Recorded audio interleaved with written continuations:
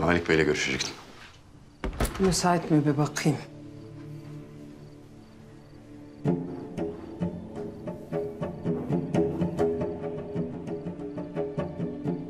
Davut.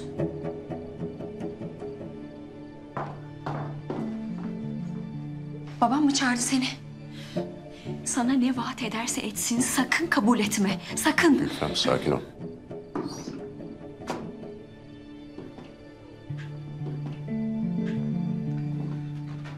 Benimle görüşmek istemişsin. Ee, çalışma odasına geçelim. Hadi.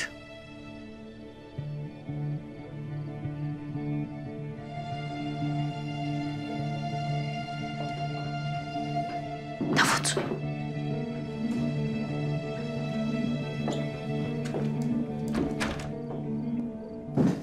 Gel Davut gel. Gel.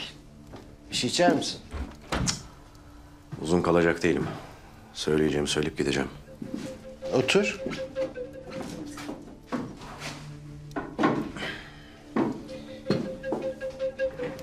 Evet söyle bakalım seni dinliyorum Davut. Yövmiyelere zam istiyoruz. Günlük 90 kuruş yövmiyeyle çoluk çocuk geçindirmeye çalışan arkadaşlarımız var. Ayrıyetten aylık verilen sabun miktarı 70 gramdan 3 katına çıkarılsın. Ha bu arada her Allah'ın günü de helva ekmek yemeyelim zahmet. Arada bir etli yemek de yesin amele. İyi söylüyorsun, hoş söylüyorsun da. Ya ben bunları karşılayamam ki Davut. Su baskınından sonra çok büyük zarar ettim biliyorsun. Baskından evvel kazandıklarına sayarsın o zaman.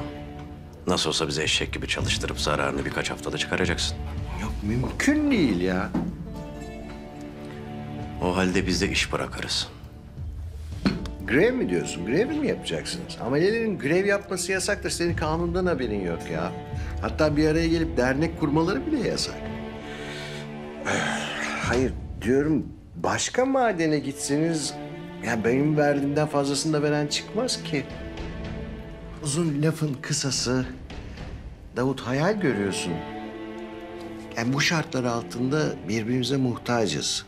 Lakin eğer ısrar edersen ben bir ay zarar etmeye göze alıp sizi işten çıkarmak zorundayım. Yerinize de başkalarını alırım sonra.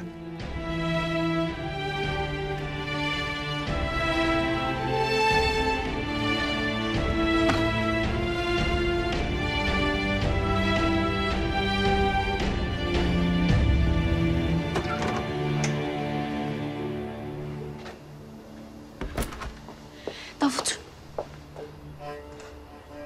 Ne istiyorsun? Yardım etmek. Yardım mı? Ben yardımın değil hakkım olanın peşindeyim Gülfem. Az evvel babandan yemiyeler için üç kuruş zam istedim ona bile yanaşmadı. Sen nasıl yardım edeceksin? Neyinle yardım edeceksin?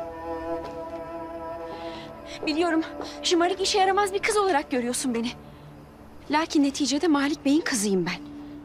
İstediğimi elde etmek için her yolu denemeyi o öğretti bana. Öyle mi? O zaman ben sana bir nasihat vereyim. Aksayanla aksak, suya gidenle susak olma. Sonra bir gün elindekilerini kaybedersin, çok pişman olursun. Hiçbir şey sandığın gibi değil Davut. Babam sadece seni değil, beni de işine geldiği gibi kullanıyor. Bir maden patronuyla evlendirmek istiyor beni. Ali Gelik'le.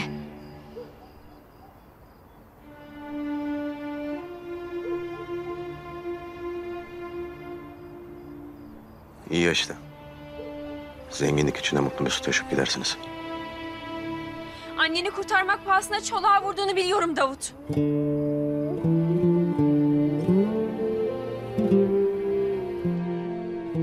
Fatma Ana'ya rastladım gündüz.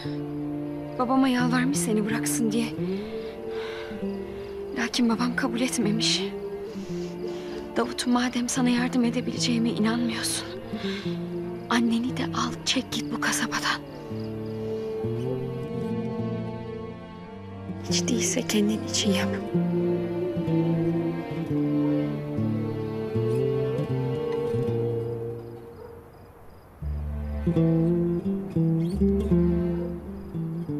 Hala anlamıyorsun değil mi? Çekip gitsem ne fark edecek? Başka Fatmalar, başka analar acı çekmeyecek mi? Benim derdim ailemi kendimi kurtarmak değil.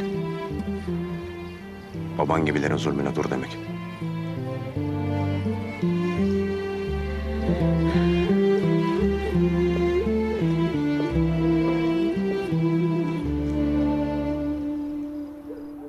Daha fazla video izlemek için kanalımıza abone olabilir. İlk izleyen olmak isterseniz bildirimleri açabilirsiniz.